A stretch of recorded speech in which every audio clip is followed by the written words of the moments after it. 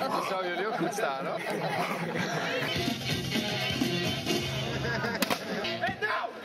Hey, Nou! nou!